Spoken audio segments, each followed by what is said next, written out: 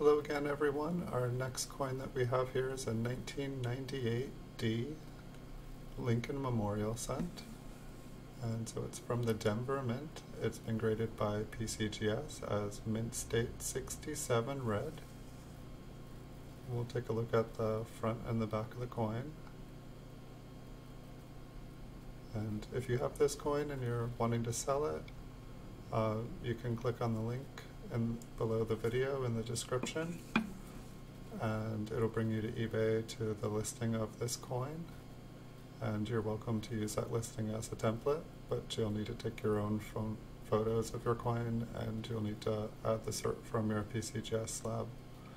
Alright, hope this makes it quick and easy for you. Thanks everyone for watching. Have a good day.